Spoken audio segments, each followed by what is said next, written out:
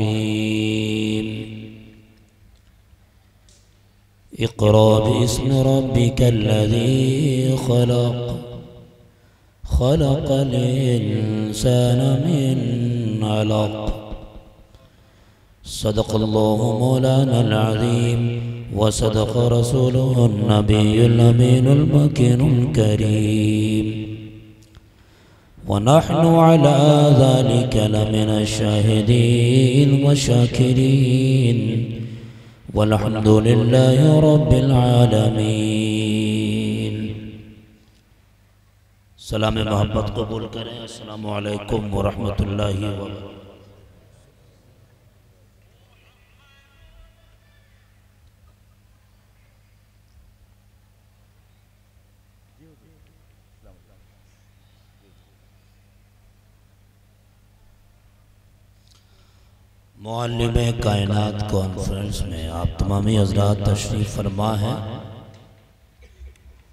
पहली बार आपके इस गाँव में इस इदारे के वसी अरीज सहन में अली वक़ार मोहतरम इमरान साहब की दावत मोहब्बत पर हाजिर हुआ हूँ। काजी शहर को शाम भी तशरीफ़ फरमा है।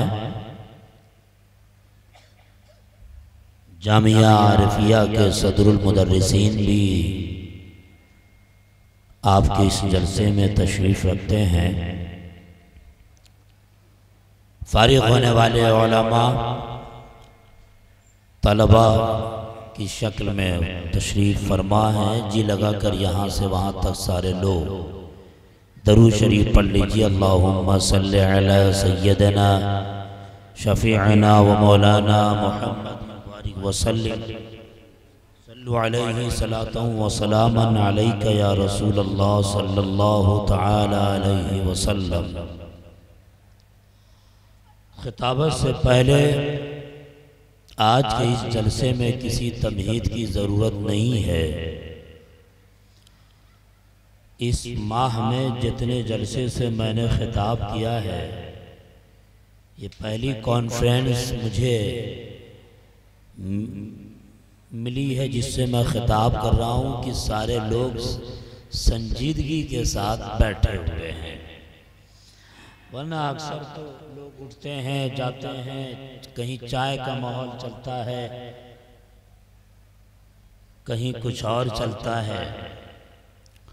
बहुत खुशी मिली आपकी संजीदगी को देखकर बस संजीदगी के साथ हमारे इस खिताब को समाप्त कीजिए। तकरीबन घड़ी के वक्त से एक घंटा आपके सामने हम रहेंगे। शबनम की चोट से चिंगारियाँ पैदा कर देने वाले ओलमा शोरा भी तशरीफ़ फरमा है। मौजू पे मैं बात करने का आदि हूँ।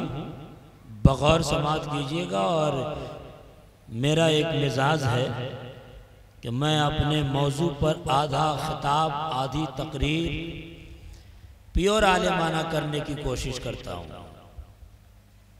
वो आमोख्ता के तौर पर अहले स्टेज के लिए रहता है। और फिर आधी तकरीर अवाम के मिजाज को देखते हुए करता हूँ, वो भी आलिमाना ही रहता है, जाहिलाना नहीं रहता। शर्त है संजीदगी के साथ समाप्त कीजिए। आप गौर करें, हज़रत ईसा सलाम के बाद से हुजूर अकरम सल्लल्लाहु अलैहि वसल्लम तक तकरीबन 500 या साढ़े पाँच सौ साल का ऐसा अरसा गुजरा कि अहले ज़मीन का आसमान से रिश्ता टूटा हुआ था। और जब 500 या साढ़े पाँच सौ साल के बाद अहले ज़मीन का आसमान से ताल्लुक होता है तो किसके ज़रिए होता है? किस आयत के ज़रिए होता है? वो कौन सा जुमला है? वो पहली वही है जिसको हम जिसकी तिलावत मैंने की इकरा भी इसमें रबी कल्लजी खलक। साढ़े पाँच सौ साल के बाद जिस आयत से अहले ज़मीन का ताल्लुक फिर से आसमान से हो रहा है।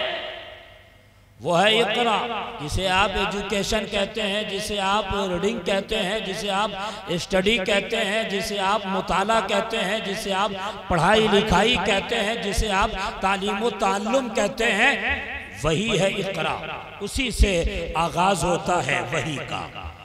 इसी से सारी दुनिया के लोगों को, खास तौर से मुसलमानों को, इल्म की अहमियत समझ लेना चाहिए कि इल्म की कितनी बड़ी अहमियत है। इस आयत से जब आगाज़ होता है इकरा से? तो क्या इसका मतलब ये कि क्या ईसा इस्लाम की उम्मत में सब जाहिल थे? कि आगाज़ इकरा से हो रहा है? हज़रत मूसा कलीमुल्लाह की उम्मत में सब जाहिल थे?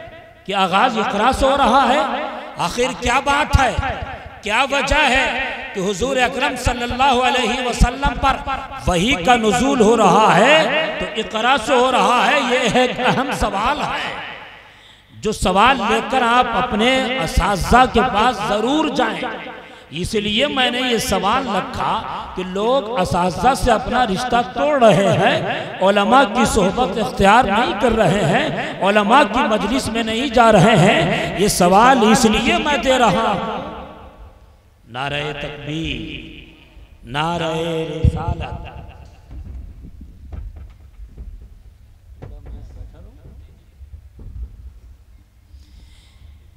ये सवाल इसलिए मैं दे रहा हूँ कि आप इसी सवाल को लेकर और इसी बहाने मदरसा में ज़रूर जाएँ इस की बारगाह में ज़रूर जाएँ की बारगाह में ज़रूर आए। इकरा भी इसमें रबी कल सबसे पहली चीज़ सुनिए, तालीम, एजुकेशन, पढ़ाई, लिखाई।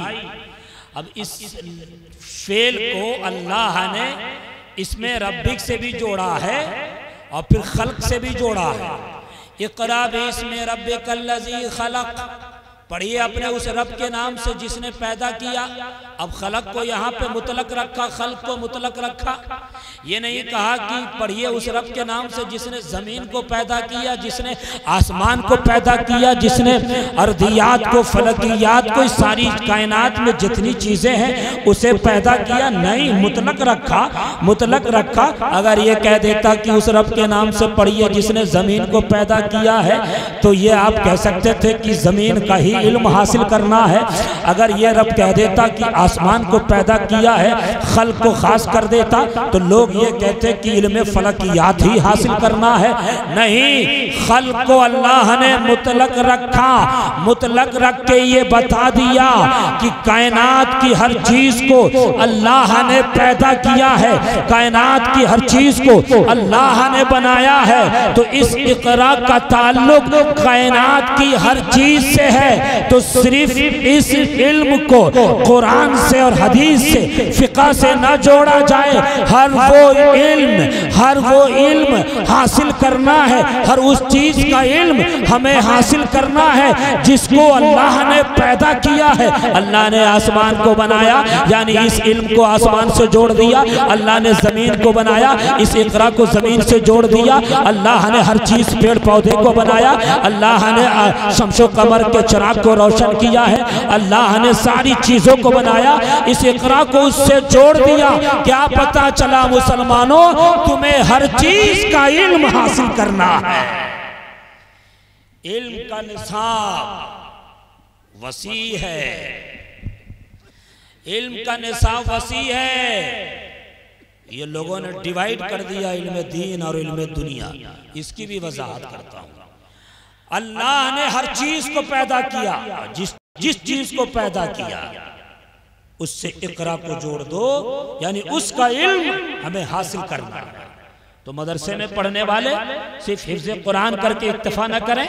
मदरसे में पढ़ने वाले सिर्फ़ दस्तार फजीलत लेके इतफा न करें। मदरसे में पढ़ने वाले सिर्फ़ फिका हासिल करके खामोश न रह जाए।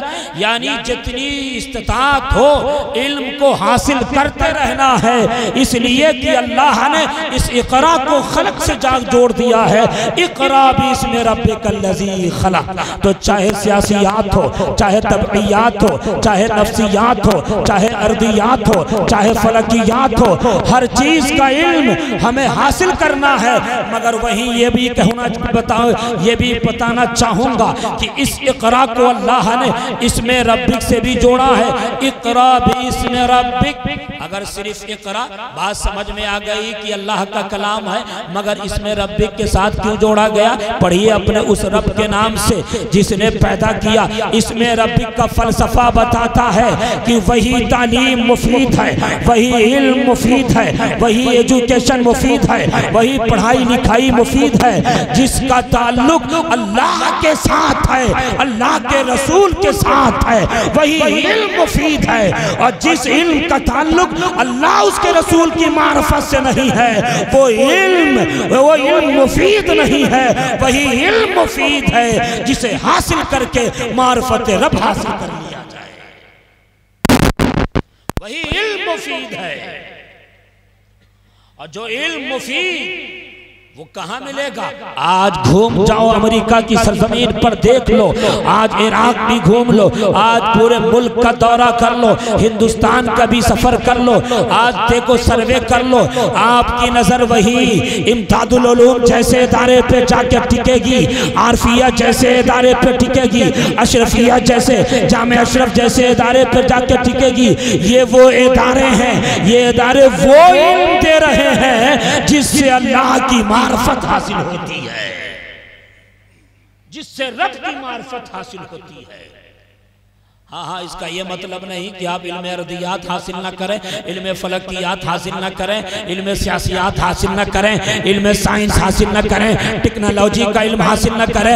हर चीज़ का इल्म अगर मार्फत रब की नीयत से हासिल किया जाए, वो वही इल्म इल्म दीन है। और जिस इल्म को अल्लाह की मार्फत के लिए ना हासिल किया जाए, हम ये समझते हैं वही इल्म दुनिया है। वही इल्म दुनिया है।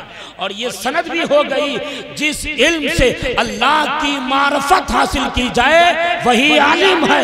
अगर पढ़ लिख के भी जितना चाहे पढ़ ले। अगर हुसने नीयत नहीं है रब के मार्फत की नीयत नहीं है तो वही इल्म इल्म दुनिया और ऐसे को हम जाहिल कहते हैं। जहालत का ये मतलब नहीं जाहिल का ये मतलब नहीं वो अनपढ़ हो वो अंगूठा छाप हो वो पढ़ा लिखा ना हो ये नहीं पढ़े लिखे लोग भी जाहिल हैं। आप देखो अबू जहल को। अबू जहल का अबू जहल पढ़ा लिखा था। जहालत की बुनियाद वैसा नहीं कि गंवार था, अंगूठा छाप था पढ़ा लिखा था।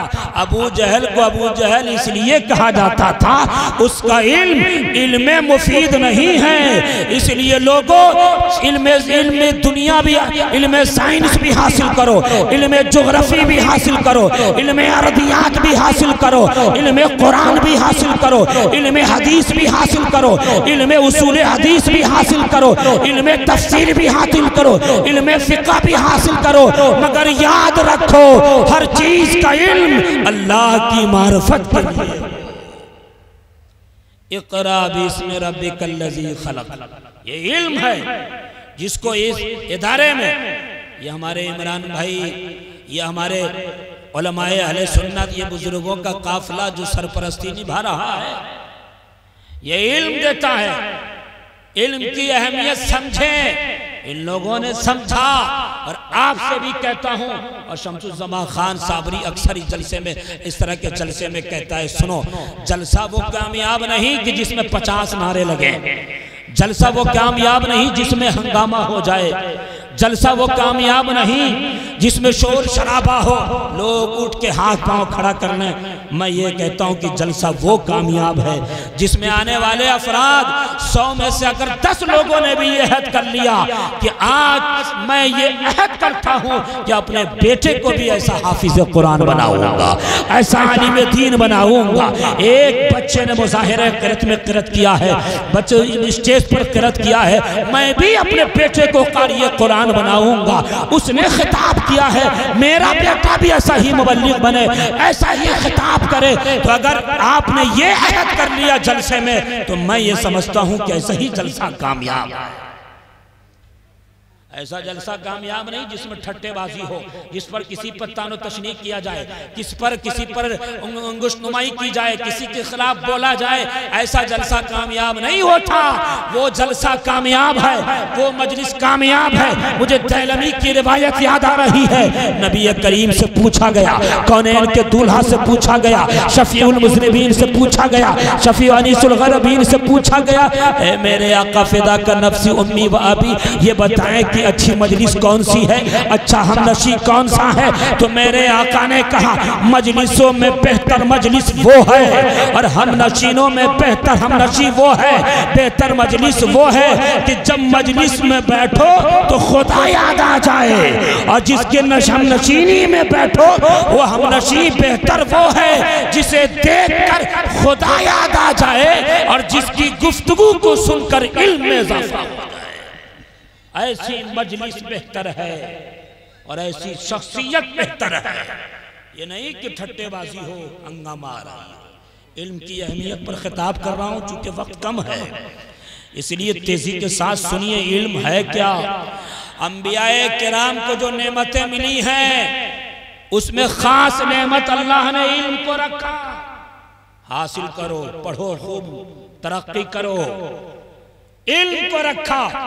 आप देखें सीरत उठाकर तारीख पढ़ें आप। कभी कभी तो मुझे अफसोस होता है जिस कौम को जब मैं ये दावत देता हूँ कि सीरत की किताब पढ़ो। तारीख की किताब पढ़ो बुज़ुर्गों की के मलफूजात को पढ़ो तसवुफ की किताबें उठा के पढ़ो। तो मेरा दिल ये भी कहता है शमसुजमा किस कौम से कह रहे हो? जो कौम कुरान की तलावत नहीं करती जिसके घरों में कुरान के जुस्तान पे मकड़ी के जाले लगे हुए हैं वो क्या इमाम गजाली की हयाल उठा के पढ़ेगी? वो क्या इमाम गजाली की मुकाशफतुलूब उठा के पढ़ेगी? वो क्या मकतूबात रब्बानी पढ़ेगी? वो क्या मकतूबात सदी पढ़ेगी? वो क्या बुज़ुर्गों की सीरत पढ़ेगी? अम्बिया कलाम की सीरत का मुताला करेगी? जो कौम कुरान नहीं पढ़ती है, वो तो वो तो रख दिया किसी में। लोगों ने मैं ये समझता हूँ, लोगों ने ये समझ लिया कि मुर्दे पर दम करने के लिए कुरान का नजुल हुआ है और सिर्फ़ कुरान खानी में कुरान खानी करने के लिए कुरान का नजुल हुआ है। नहीं साहब ये वो किताब है, अभी मैं आऊँगा मुख्तसर में, जिस पर रिसर्च करके गैर चाँद पे चले गए और आपके घरों में कुरान। मैं, मुझे, मैं इस जुमले को इसलिए रोक रहा हूँ, वो बात कहने के लिए एक स्कूल में एक टीचर ने कहा था कि जितने बच्चे हैं, अपने घर से वो किताब लेके आए, जिसकी तलावत नहीं की जाती, जिसको पढ़ा नहीं जाता। जितने मुस्लिम बच्चे थे, पता है, कुरान करीम लेके आए। टीचर ने कहा, बेटा, ये तो कुरान है। कहा, सर, यही वो किताब है जो हमारे घरों में नहीं पढ़ी जाती है। जरा बेदार होइए। खुफ्त जमीर को झगाइए ये इल्म है इल्म।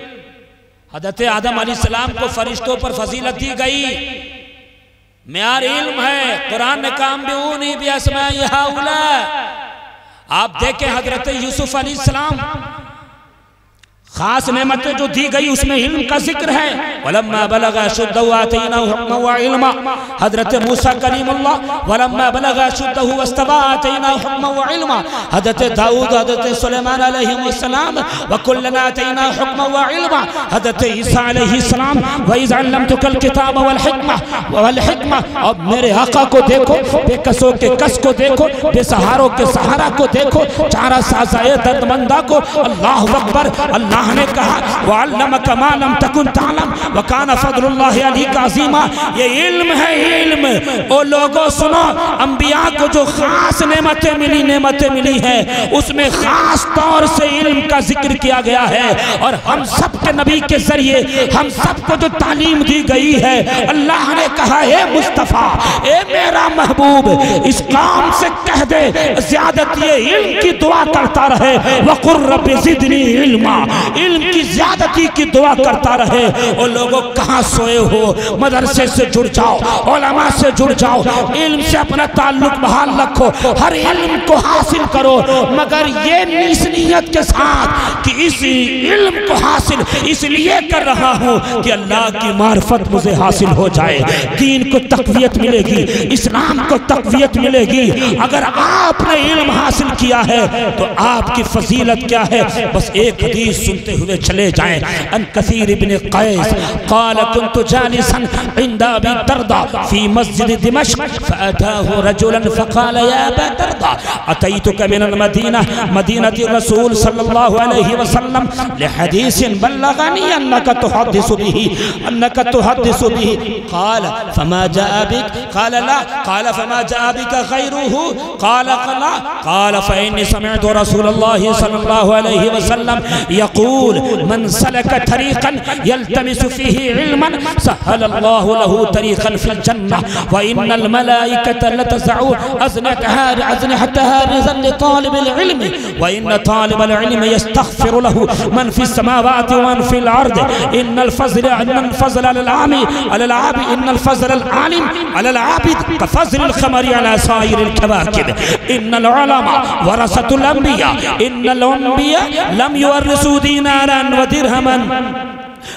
पूरी हदीस है। आपने इबारत भी सुननी है, तर्जमा सुन लें हज़रत कसीर बिन कैस फरमाते हैं, हज़रत अबू दरदा मस्जिद दिमश्क में बैठे हैं। एक साहब मदीना शरीफ से तशरीफ़ लाते हैं। कहा, ए अबू दरदा, ए अबू दरदा, ये हदीस लेके आया हूँ, सुना है ये हदीस, आप बयान करते हैं।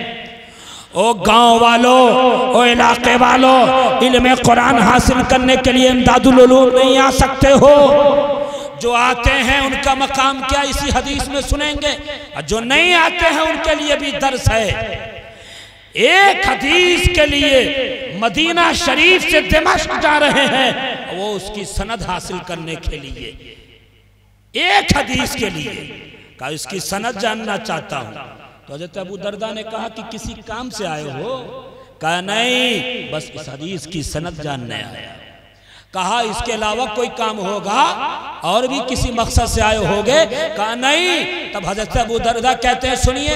कहा, सुनो, अल्लाह के रसूल सल्लल्लाहु अलैहि वसल्लम को मैंने ये कहते हुए सुना, मन सलक तरीकन यल्तमिसु फीही इल्मन, सहलल्लाहु लहु तरीकन फिल जन्ना जो इल्म हासिल करने के लिए निकलता है, अल्लाह उसके लिए जन्नत का रास्ता आसान कर देता है। तो जो तलबा, चाहे बिहार से आए हो, यूपी के किसी खत्ते से हो, चाहे बंगाल से आए हो, चाहे यो महाराष्ट्र से आए हो, चाहे एमपी से आए हो, और आप भी कहीं से भी आए हो, अपने बच्चे को कहीं भी बेचें, ये उनकी फजीलत है कि ये जब मदरसे में आते हैं, ये जब इल्म हासिल करते हैं, अल्लाह इसके लिए जन्नत के रास्ते आसान कर देता है। ये इल्म की अहमियत है। जलसों में नारा लगाने वालों, हम जन्नती हैं। हम तो फला से मुरीद हैं, हम तो फला से मुरीद हैं, हम तो ऐसे ही जन्नती हैं। न इल्म हासिल करें, न इबादत करें, हम तो जन्नती हैं। वो लोगों, इतनी आसान नहीं जन्नत। अगर जन्नत चाहते हो तो जन्नती वाला नुस्खा ये है कि इल्म हासिल करो इल्म। आसान है जन्नत का रास्ता इन तलबा के लिए जो पढ़ते हैं। और सिर्फ़ यही नहीं। आगे क्या फरमाया?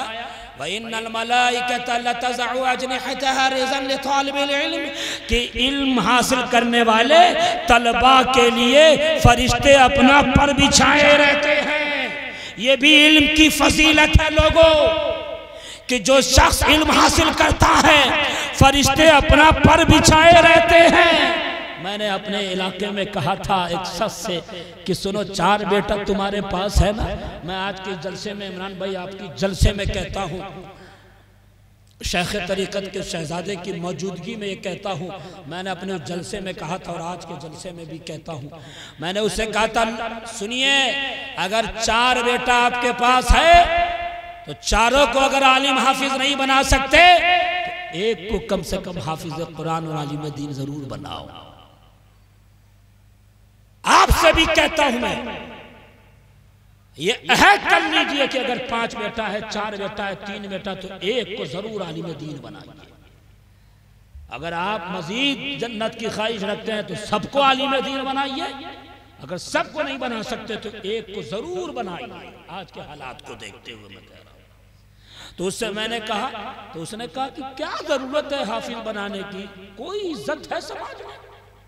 मैंने कहा, समाज में साहब बहुत इज़्ज़त है। एक तो आप उसी वक्त मैंने कहा कि मैं खड़ा हूँ तो तुम भी खड़े हो, मेरी वजह से तुम खड़े हो। यही इल्म की अहमियत है। है इज़्ज़त समाज में। अगर तुम ये कहते हो कि हाफिजों की इज़्ज़त नहीं है तो तुम्हारी वजह से नहीं है। मैं अपने बेटे को हाफिज बनाऊँगा, आलिम बनाऊँगा, मैं अपने बच्चे को आलिम बनाऊँगा, मैं कोई इज़्ज़त ही नहीं है। मैंने कहा, तुम इज़्ज़त की निगाह से नहीं देखते हो, इसलिए सोचते हो कि इसकी इज़्ज़त नहीं है। तुम इज़्ज़त करने लग जाओ, तुम तुम्हारे दिल में ये बात पैदा हो जाएगी कि ओलमा की इज़्ज़त है, होफाज की इज़्ज़त है।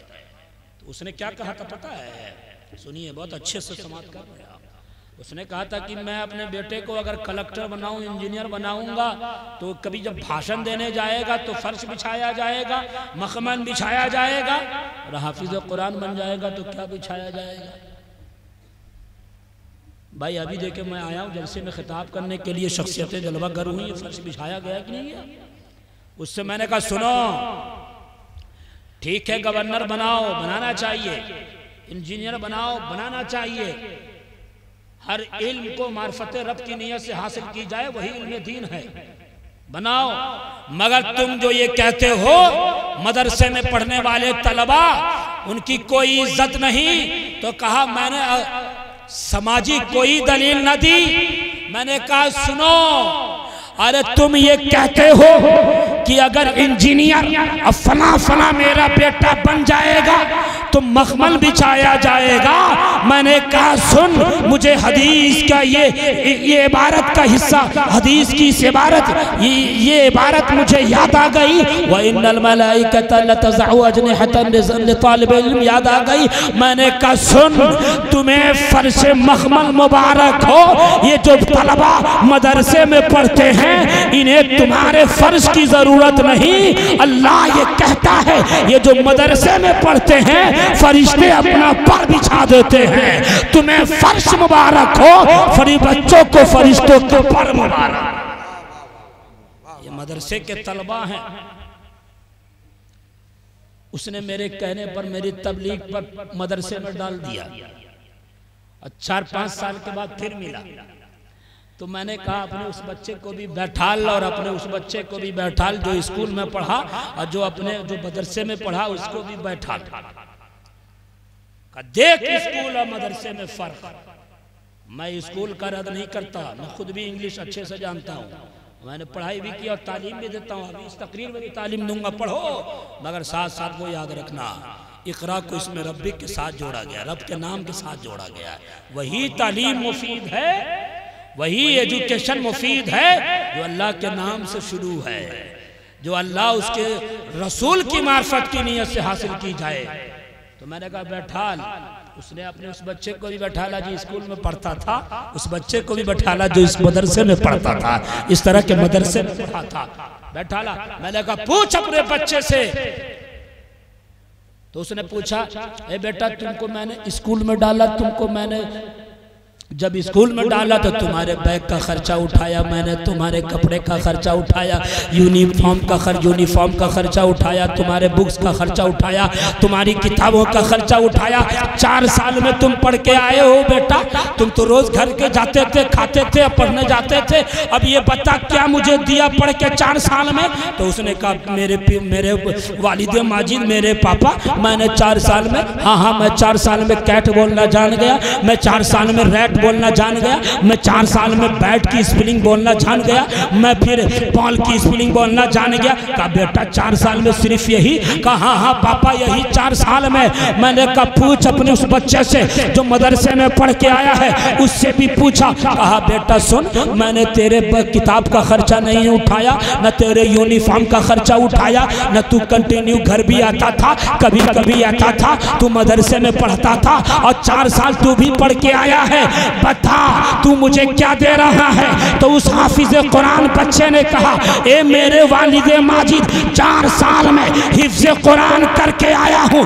मेरे सीने में तीस पारा मौजूद है। अली मौला मुश्किल कुछ फातह खैबर खैबर शिकन, दामाद मुस्तफ़ा। मुश्किल अली मुश्किल कुछ सलाम की वो रिवायत सुना दी? कहा, सुनो।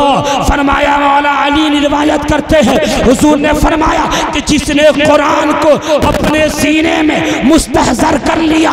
उसके हलाल को हलाल जाना, उसके हराम को हराम जाना। तो अगर उसका बाप अपने गुनाहों की वजह से जहन्नमी भी हो गया होगा तो उसे जन्नती बना देता है। ए मेरे वालिद, मैंने चार साल में आपको जन्नत बना, जन्नती बना दिया है। जन्नत में नारे तकबीर, नारे रिसाला मौलम कायनात कॉन्फ्रेंस जश्न दस्तार बंदी अहले सुन्नत मदरसा जामिया इमदादुल इल्म हासिल करने वाले इतनी बड़ी फसीलत है इसी हदीस में देखे। कहा मेरे आका ने सुनो और मैं अपने तलबा से भी कहूँगा कि एहसास कमतरी के शिकार मत होना तुम्हारी शान बहुत बुलंद है। बहुत बुलंद है। इतनी बुलंद की सुनो। ये जो लोग कहते हैं, ये है, वो है। मैं कहता हूँ, प्यारे, इस तरह के जहनीत से दूर हो जाओ। ओलमा की इज़्ज़त करो ओलमा की मजलिस में बैठा करो, सूफियों की मजलिस में बैठा करो लान तान से दूर हो जाओ। ये मदरसे के तलबा हैं। नबी कौन ने फरमाया, शफीउल मुजनबीन ने फरमाया, बेकसों के कस ने फरमाया, सारा साज दर्दमंदा ने फरमाया कि सुनो, ये तलबा हैं। इनकी शान ये है कि समंदर की मछलियाँ भी इनके लिए दुआए मफरत करती रहती है। और एक मकाम पे फरमाया ज़मीन आसमान में जितनी चीज़ें हैं वो सारी चीज़ें ओलमा के लिए दुआए मफरत करती रहती है। मगर याद रखे मेरे तलबा इल्म हासिल कर रहे हो फारिग हो रहे हो इल्म को नूर के साथ हमेशा जोड़े रखना। इल्म इल्म नूर रहे। इल्म इल्म नूर कब होगा? तो बुज़ुर्गों की सीरत बताती है कि पढ़े मदरसा में खानका चले गए। पढ़े मदरसा में खानका चले गए और सूफियों से ताल्लुक बहाल रखा। उस इल्म को इसी तरह से नूर रखा। हिजाब अकबर से दूर रहना। अगर इल्म आए, और ये सोचो कि मैं बड़ा आलिम हूँ, महल्ले समाज का फ़कीर हूँ, और किसी बूढ़े की इज़्ज़त ना करो, किसी की इज़्ज़त ना अरे ये तो जाहिल है, ये तो गवार है, ये तो हम तो फला मुफ्ती हैं। तो याद रखो, इसी आयत के बाद अल्लाह ने क्या कहा? खलकल इंसान मिन अलग कि उछलते हुए पानी से पैदा किया गया, कि जब फ़कीर बन जाओ, जब मुहदस बन जाओ, जब तुम हाफिज कुरान बन जाओ, जब तुम आलिम दीन बन जाओ, वक्त के अजीम जलील कद्र बन जाओ जाओ तो याद रखो, अगर दिल में कहीं से तकबर आए कि मैं फला हूँ, मैं फला हूँ तो इस आयत को भी याद रखना। क्या वजह है कि तालीम की आयत के फ़ौरन बाद खलकल इंसान में अलग कहा गया? इसलिए कहा गया कि जब तुम इन उलूम को हासिल करके, जब तुम साइंस को मार्फत रब की नीयत से हासिल करके, जब तुम टेक्नोलॉजी को मार्फत रब की नीयत से हासिल करके, जब तुम सियासियात बात को मार्फत रब की नीयत से हासिल करके। अगर ये घर के बाद कम समाज में आओ, ये घमंड पैदा हो तो याद रखना अल्लाह ने कहा, खलक इंसान मिन अलग, तुझे उछलते हुए पानी से पैदा किया गया। ये इसलिए कहा गया है, आलिम हो तो याद रखो, तुम्हारा ताल्लुक इज्जो इनके सारी से है तकबर से तुम्हारा ताल्लुक नहीं। बेशक, सुभान अल्लाह। इकरा रबिकल्लजी खलक। तालीम की इतनी बड़ी अहमियत है कि अल्लाह ने जब खुद अपना तारुफ कराया तो अलालीम के ज़रिए कराया। इकरा बरबकल अकरमल्लजी कलम। अलालीम के ज़रिए अपना तारुफ कराता है। और आप सोए हुए हो? खाब गफलत के शिकार हो? इल्म की अहमियत पर सिर्फ़ बात की जाए वक्त बहुत ज़्यादा हो जाएगा चूँकि मुझे जाना भी है। और एक घंटे का वक्त मिला है। इकरा बिस्म रबी खलक। हर चीज़ का इल्म आप हासिल करें। लेकिन याद रखें, जो इल्म इल्म मुफीद हो, वही इल्म आप हासिल करें। मुझे एक रिपोर्ट याद आती है, मैं अक्सर जलसे में इसको सुनाया करता हूँ, मैं आज भी सुना देता हूँ। मनमोहन सिंह ने 2011 में एक कमेटी तैयार की थी, सच्चर कमेटी इसको कहा जाता सच्चर कमेटी में एक शख्स को मुतयन किया था कि तुम मुसलमानों का सर्वे करके आओ तालीमी मामले में सूरत हाल कैसी है उसकी। सुनिएगा गौर से अगर खून के आँसू आए तो वो भी निकाल लीजिएगा। तालीमी मामले में जायजा लेके आए। तो सच्चर कमेटी की में जो शख्स मुतयन हुआ था तो उसने जो पेश किया था वो रिपोर्ट सुनिए। उसने कहा था कि पूरी दुनिया में मुसलमानों की सूरत हाल क्या है वो सुना जाए। उसने कहा था पूरी दुनिया में मुसलमान सिर्फ़ और सिर्फ़ साठ फ़ीसद पढ़े लिखे हैं बाकी चालीस फ़ीसद जाहिल है। अल्लाह अल्लाह अल्लाह अल्लाह। अब लगाइए नारा। नारा। सब बंद करो। होश के नाखून लिया जाए। कामयाब जलसा वही है कि उसमें अहद कर लिया जाए कि अपने बेटे को ज़बरदस्त आलिम बनाना है और ज़बरदस्त पढ़ा लिखा दानिश्वर बनाना है। चालीस फ़ीसद जाहिल हैं पूरी दुनिया में मुसलमान। साठ फ़ीसद पढ़े लिखे और साठ फ़ीसद में भी अगर मुसलमान ये सोचे कि हाई फाई तालीम याफ्ता हैं तो उसने कहा, नहीं, ये भी उसकी सोच गलत है। का सिर्फ़ मुसलमानों में चार पॉइंट चार ही फ़ीसदी ऐसी है कि जो हाई तालीम क्वालिफाई हैं, जो बड़े स्कूल में पढ़ा करते हैं, बड़े मदरसे में पढ़ा करते हैं। सिर्फ़ चार बाकी सब बेसिक जानते हैं। अब उसका सर्वे खुद कर लीजिए गाँव इलाके में। मैट्रिक किया, माँ बाप ने कहा, बेटा, जा बैग का काम सीख घड़ी का काम सीख। मदरसे में पढ़ लो, नाजरा पढ़ लिया, हो गया, पता नहीं क्या समझते हैं कि यही निसाब है कि नाजरा पढ़ लिया और नाजरा भी सही से नहीं पढ़ना जानते। उसने कहा था, हिंदुस्तान की फ़ीसदी बताते हुए का हिंदुस्तान में मजमुई शरह खानदगी जो है, चाहे हिंदुस्तान में हिंदू हो, मुस्लिम हो, जैन हो, बुद्धिस्ट हो, सिख हो सिख हो, ईसाई हो, उसने कहा था, सबकी फ़ीसदी मैंने निकाली कुल शरे फ़ीसदी जो है, शरे खानदगी जो है, उसने कहा था कि हिंदुस्तान में सारे लोगों की जो शरे खानदगी है, पढ़ने लिखने की फ़ीसदी है, वो फ़कत और फ़कत पैंसठ फ़ीसद है। बाकी हिंदुस्तानी आप जाहिल है। और उस पैंसठ फ़ीसद में सुनिए, इधर सुनिए। उस पैंसठ फ़ीसद में सबसे ज़्यादा जो फ़ीसदी है, वो किसकी है पता है? उसने कहा था, हिंदुस्तान में सबसे ज़्यादा पढ़े लिखे जैन बरादरी के लोग हैं, जो चौरानवे फ़ीसद पढ़े लिखे हैं 2011 की रिपोर्ट पेश कर रहा हूँ। ईसाई 80 फ़ीसद है, बुद्धिस्ट बहत्तर फ़ीसद है। उसने कहा था, हिंदू पैंसठ फ़ीसद पढ़े लिखे हैं। और सबसे घटिया अगर किसी की फ़ीसद थी, उसने कहा था, सबसे कम पढ़े लिखे मुसलमानों मुसलमान कोई है इस मुल्क में? तो मुसलमान है। मुसलमान सिर्फ़ उनसठ फ़ीसद पढ़े लिखे हैं, बाकी सब जाहिल हैं। और उसमें भी अगर मुसलमान ये सोच ले कि मजहबी तालीम में आगे हैं, उसने कहा था, मजहबी तालीम का भी सर्वे मैंने किया है। मजहबी तालीम में भी मुसलमान सिर्फ़ चार पॉइंट चार ही आगे हैं, बाकी सब बेसिक है। नाजरा पढ़ लिया या ज़्यादा से ज़्यादा हिफ्ज कुरान कर लिया और खत्म। नहीं, कहा कोई कोई मुफ्ती है, कोई कोई ज़बरदस्त आलिम है, कोई कोई फकी है। कहा तो सुनो, मुसलमानों का पढ़ने लिखने में मामला जो है, वो कहीं कहीं दलील से बेहतर है और कहीं कहीं दलील से बदतर है। लोगों, क्या सोच रखे हो? अरब ममालिक देखो, अरब के 22 ममालिक में जितना पढ़ने लिखने का काम होता है, वो तनहा यूरोप के एक छोटे से मुल्क ईरान में हुआ करता है। पढ़ने पढ़ने लिखने का काम, लिखने का काम, क्या समझते हो? क्यों सीना चौड़ा करके चल रहे हो? जलसे को भी तफरीगा बना दिया। और लोगों, सुनो, मुस्लिम ममालिक में जितनी यूनिवर्सिटी है, तारीख ये बताती है कि कुल 6000 यूनिवर्सिटी है कुल मुस्लिम संतावन मुस्लिम ममालिक में। और 6000 और तनहा सिर्फ़ अमेरिका में 7585 यूनिवर्सिटी है। लोगों, कहाँ सोए हुए हो? बेदार हो जाओ, इल्म हासिल करो, खूब मकाम हासिल करो। इस मामले में खूब अपने बच्चे को हाफिज कुरान ज़रूर बनाओ। आलिम दीन भी ज़रूर बनाओ। एक हदीस मुझे याद आती है, वो सुनाकर अपनी गुफ्तगु को ख़त्म करता हूँ। कुरान।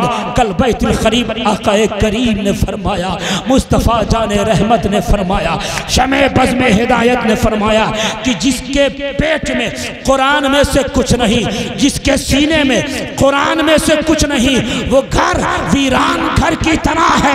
वो घर वीरान घर की तरह है। तो इस हदीस का मफहूम मुखालिफ ये भी निकल के आता है कि जब जिसके सीने में कुरान में से कुछ नहीं वो घर वीरान घर की तरह है। तो मफहूम मुखालिफ ये है कि जिसके सीने में कुरान की एक आयत मौजूद है उसका सीना वीरान नहीं वीरान नहीं। तो जब कुरान की एक आयत मौजूद जब तीन आयत मौजूद तो उसका सीना आबाद है आबाद। तो जिसके सीने में मुकम्मल तीस पारा मौजूद है उनके सीनों का आलम क्या होगा? हाफिज कुरान का आलम नारे तकबीर नारे रिसालत अजमत हाफिज कुरान शहजादे हुजूर दाई इस्लाम जिसके सीने में हिफ्ज कुरान के साथ साथ इल्म कुरान भी मौजूद है अंदाज़ा लगाओ उसके सीने का आलम क्या होगा? और लोगों अपने बच्चे को एक ज़रूर आलिम हाफिज बनाना चाहो तो सबको बना देना। ये वो मेहमान है जिसकी बदौलत आप जन्नत में जाएँगे। सुभान अल्लाह। हाँ, जन्नत में जाएँगे। अब ये कुरान की तालीम कहाँ होती है? हदीस की तालीम कहाँ होती है? मदरसे की तारीख उठा के देखिए आप। मस्जिद नबी है, यही पहला मदरसा है। असहाब सुफ़ा का चबूतरा है, यही मदरसा है। यही नमाज़ भी है, इबादत भी है, तालीम भी है। यही सहाबा कराम की जमात तैयार हो रही है। मगर जैसे जैसे इल्म के मैदान में मैदान में गोशे निकलते गए, फ़नून का इजाफा होता गया, मुनाजरा जैसा फन आ गया तो अब ये ज़रूरत पड़ी कि मस्जिद अलग की जाए मदरसा अलग किया जाए। अगर मस्जिद में मुनाजरा पढ़ाया जाए, मुनाजरा किया जाए तो पता है इबादत में खलल हो जाएगा और नमाज़ खशियत चाहती है। खुशु खुजू, नमाज़ बिल्कुल खुशु खुजू और खशियत चाहती है, तन्हाई भी चाहती है। तो सुनो, इसलिए मदरसा अलग किया गया। अब तारीख जब उठा के देखते हैं तो हम ये देखते हैं, अपने इल्म के मुताबिक कह रहा हूँ कि नेशापुर में नेशापुर ने मदरसे की एक बुनियाद रखी थी, वही उसी सरजमीन पर सुल्तान महमूद गजनवी ने भी एक मदरसे की बुनियाद रखी थी, नेशापुर ही में। सुल्तान महमूद गजनवी के भाई नसर बिन सबुकतगीर ने भी मदरसे की बुनियाद रखी थी। और तारीख उठा के देखते हैं इमदादुलूम को भी देखते रहो अपने अपने मदरसे के देख को देखते रहो, तारीख भी सुनते रहो बगदाद की सरजमीन पे आते हैं। एक मदरसा जामिया निज़ामिया कायम किया गया था, जो निज़ामुल मुल्क तूसी के जेर तमाम चलता था आलिशान इदारा था। उस इदारे में पढ़ाने वाले इमाम गजाली थे। याद रखो, जिस इदारे में इमाम गजाली जैसा वक्कासीम सूफी जलील कदर सूफी सूफियों का इमाम पढ़ाता हो, उस मदरसे में तलबा किस मैार के होते होंगे, तालीम किस मैार की होती होगी? अल्लाह अकबर उसी बगदाद की धरती पर इमाम आज़म अबू हनीफा मदरसा कायम किया गया। आ, तारीख देखो उन्दलूस की सरजमीन पर जब इस्लाम के झंडे लहराए तो जामिया कुतुबा कायम किया गया था। क्या पर ये इसलिए बता रहा हूँ, बगैर मदरसे के तुम्हारी ज़िंदगी अधूरी रहेगी। मदरसे से जुड़ जाओ, जहाँ जहाँ मदरसा नहीं, वो काम तबाह हो गई है, वो इलाका बर्बाद हो गया है। जहाँ जहाँ मदरसा है, वो काम, वहाँ की काम आज भी बेदार है। मोहल्ले भी रौनकदार हैं। इसलिए मदरसे पे ध्यान दो। आप फातमी उमरा ने जाम अजहर मस्जिद का क्याम किया था। वही मदरसा भी कायम हुआ। हिंदुस्तान की सरजमीन पर मदरसे के सिलसिले फैल गए। कहीं जाम अशरफ के चौथा है। कहीं जाम अशरफिया मुबारकपुर है। कहीं जामिया निज़ामिया है। कहीं जामिया अमजदिया है। कहीं जामिया अरफिया है। कहीं जामिया जामिया है। अमजद जामिया है, कहीं का अब हर इदारे अलीमिया है जमदा शाही है, देखते चले जाओ। उसी तरह वो लोगों, आपकी इस धरती पर इमदादुल जामिया इमदादुल है, और यही वो इदारे हैं जिस इदारे से इमाम गजाली निकले हैं, यही वो इदारे हैं जिस इदारे से वक्त के जलीलकद्र सूफिया की जमात निकली है। हाँ हाँ गौसे आसम भी इदारे से हैं हाँ हाँ गरीब नवाज़ भी असा के फैज याफ्ता हैं। इसी इदारे से है। इमाम बुखारी इसी इदारे से इमाम तिरमिजी इसी इदारे से, इमाम अबू ताउर इसी इदारे से, इमाम नसई इस इदारे से, इन्हीं इदारों ने इमाम आज़म जैसा फ़की दिया है, जिसके मसलक में हम जीते हैं, इन्हीं इदारों ने इमाम शाफी जैसा इमाम दिया है, इन्हीं इदारों ने इमाम अहमद जैसा है इमाम दिया है, इन्हीं इदारों ने वक्त का अजीम मुजाहिद भी दिया है। क्या पता चला, ये मदरसा है, तेरा मैं कदा नहीं साकी। यहाँ की खाक से इंसान बनाए जाते हैं।